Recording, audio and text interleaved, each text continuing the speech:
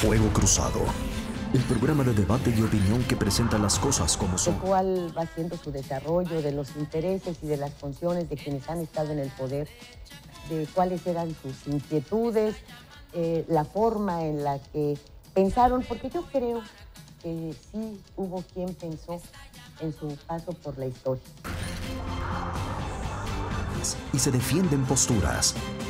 Es también la oportunidad que se le da a Quintana Roo y particularmente a Cancún de convertirse en una puerta, pues prácticamente de América para los grandes acuerdos internacionales.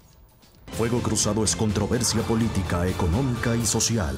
Nada escapa al carácter incisivo de Lilia Arellano, que descubre las verdaderas intenciones del poder. Fuego Cruzado, donde tarde o temprano todos somos protagonistas. Todos los viernes, 22 horas,